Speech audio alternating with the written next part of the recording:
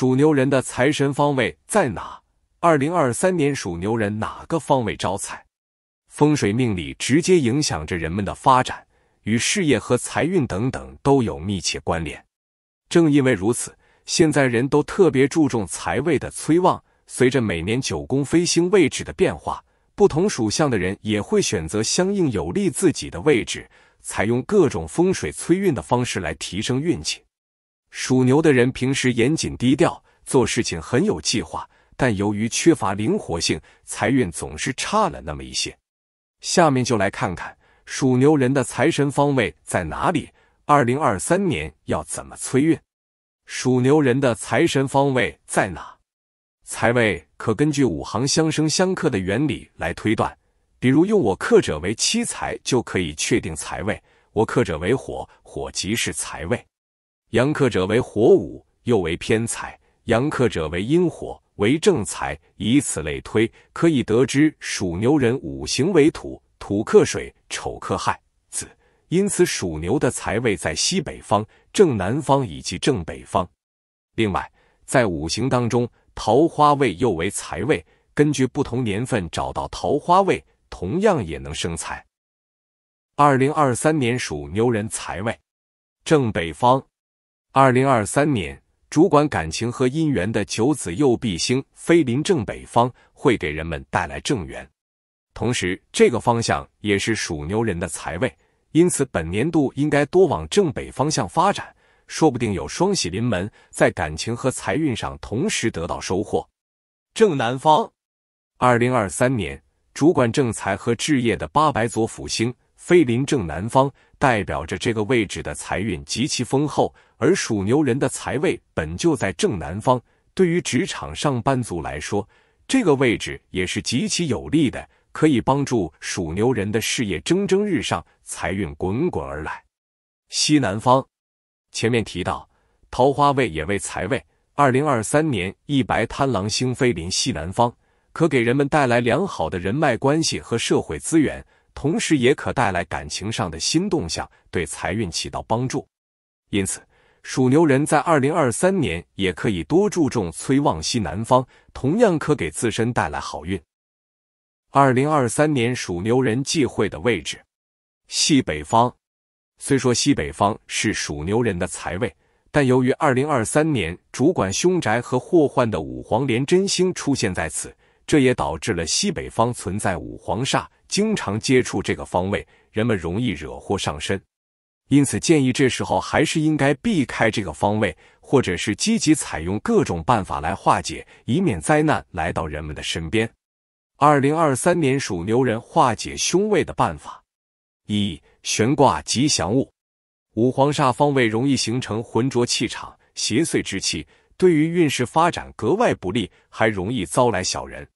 此时可以在家中或者办公室的西北方悬挂一枚桃木剑，或者是铜葫芦等等，即可起到辟邪、转运、招财的效果，也能过催旺属牛人自身运势。二多多清洁打扫，二零二三年。属牛人除了要远离五黄煞所在的位置之外，平时还要多多清洁打扫，不要有重物压在上面，例如沙发或者沉重的柜子、金属物品，例如冰箱、洗衣机等等。若是存在这样的情况，要及时搬离，免得对运势造成干扰。除此之外，还可以在西北方位放一些化解煞气的吉祥物，例如麒麟、貔貅、香河属相的造型等等。二零二三属牛最旺的方位，属牛人今年去哪最吉利？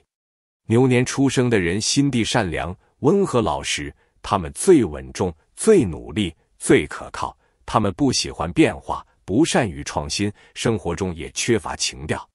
对于金钱，生肖牛是比较看重的，因为生肖牛非常的务实，他们懂得一分耕耘一分收获的道理，所以。为了积累更多的金钱，生肖牛会非常的努力，不会有一丝的懈怠。进入二零二三兔年，生肖牛各方面运势并不平坦，需要注意的地方也很多。那么，二零二三属牛最旺的方位是什么？二零二三属牛的财运运势，进入二零二三癸卯兔年，对于一切都充满了期待的生肖牛，并不会迎来非常顺利的运势。财运运势相对来说波动不是很大，但有好有坏。正财方面，因事业发展不会有太大突破，工资收入一般与过去一年持平。而一些平时喜欢搞副业或者是做兼职的生肖牛，会收获很多机会。生肖牛可以在工作之余，利用时间做做兼职，提高收入。虽说这一年赚钱方面无需烦忧，但管理钱财方面一定要谨慎。出门在外，最好不要携带太多现金或者是贵重物品；居家也不能存放太多的贵重物品，小心被小偷惦记。虽说生肖牛花钱比较谨慎。但他们也会有冲动消费的时候，特别是一些年轻女性，切勿攀比，形成不良的消费习惯。二零二三属牛最旺的方位，东北方位。进入癸卯兔年，生肖牛的财位在东北方。从风水命理来看，八白左辅星飞临东北方，论靠东方的癸水方和属牛人构成了禄合关系。所以，东北方位作为财神位，可以庇佑生肖牛财运亨通、大富大贵。在生活中，可以多利用此方位，不管在任何时候都能催旺财运。比如打麻将的时候，可以选择坐在东北方的方位，一定会让自己横扫全场，进账不少。正南方，生肖牛进入二零二三癸卯兔年，就应该知道正南方位是生肖牛的财位。只要利用好财位，就能让自己轻松赚到钱，尽早的实现财务自由。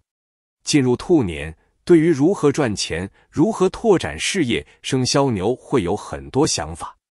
有一部分打算跳槽的生肖牛，不能忘了在新的工作单位选择正南方的方位摆放办公桌，这样不仅会促进业绩，还能有升职加薪的机会。对于创业经商的人来说，这一年要在正南方位摆放有利于提升运势的吉祥物，这样便可以更好的催旺生意，赚到更多钱财。二零二三属牛最旺的月份，三月，生肖牛进入二零二三年三月，财运运势是比较理想的，不仅正财收入不错，职场中只要付出就会有理想的回报。职场中的生肖牛具有奋斗精神，他们兢兢业业的对待工作。帮衬身边的同事做好协作，会在这个月得到领导认可，自然也会有不错的收益，升职加薪会理想成真。六月，二零二三年除了三月、六月，对于生肖牛来说，财运运势也是比较理想的。偏财方面，因收获了很多有价值的信息，合理的选择理财产品，一定会看到很好的收益。只是理财投资风险较大。不能因为运势不错就盲目选择，一切都要结合自己的财力选择。以上生肖十二的分享就到这里，天道酬勤，要记得机会永远是给准备好的人。祝福各位亲爱的朋友，福气满满，财气满满，身体健康又逍遥。下期见。